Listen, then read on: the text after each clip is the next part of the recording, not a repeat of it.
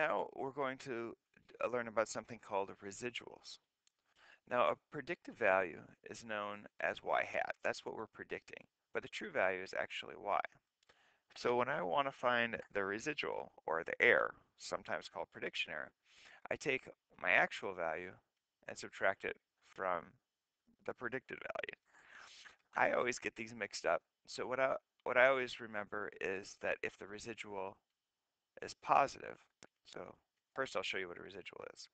So if I have this, I have my linear regression line, the residual is the vertical distance up and down between the line and the linear regression line and our point. The points that are above the line have a positive residual. The points that are below the line have a negative residual. And that just makes sense. And so uh, if you're confused on whether it's y hat minus y or y minus y hat, just think about is the is our point above or below our line? And that can help you figure it out. Now, if we want to find the residual for this point, first thing I do is plug in these values into your calculator and do a linear regression. And now that I have a linear regression, what I could do is just take this and write the linear regression equation and plug in 47.4 here and get my y hat value and then subtract those values. Or another way, way to do it is uh, once you have those values, uh, when you do a linear regression, make sure you've put in your y1 over here, vars to the right, enter, enter. And then when you graph it, the line's going to be over here. Now, uh, to calculate that point, if I hit second trace, which is our calculate, and just hit enter, we could type in 47.4 and we can see that point's there. So right here we should know that our residual should be negative because our point is below our line. So if I pull that out, uh, what I want to do is take what we predicted, 159.15, and subtract that from our actual point, 153.3. And when I subtract those,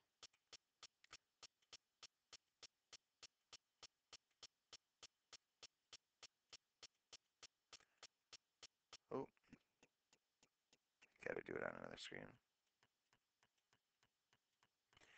I should get a negative answer, which is negative 5.58 and that is my residual.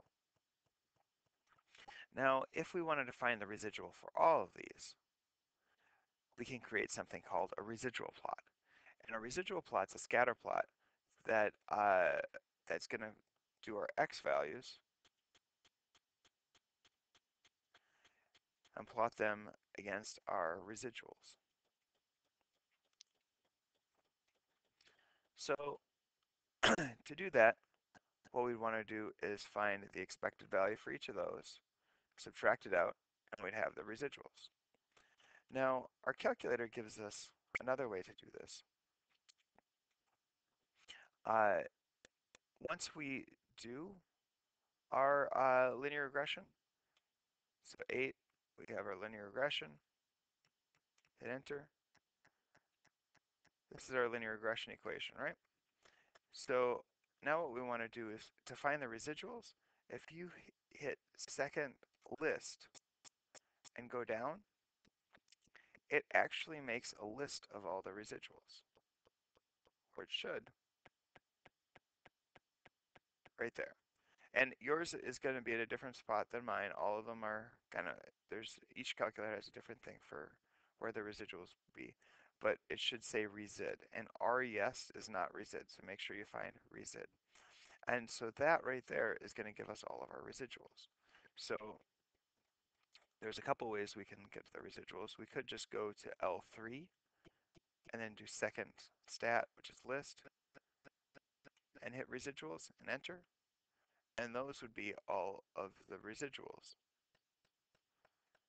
So then we could just plot those points versus your x variables here. Uh,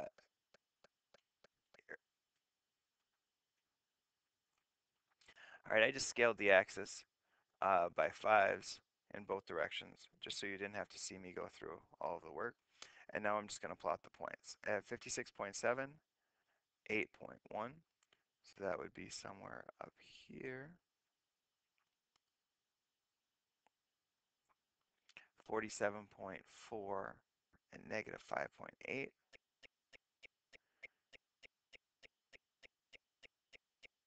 Somewhere there.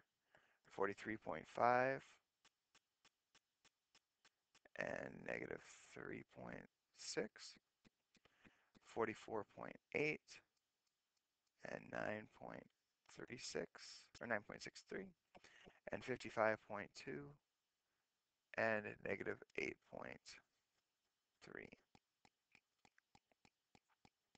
So this right here is our residual plot. This is the residuals, and here is the knee height.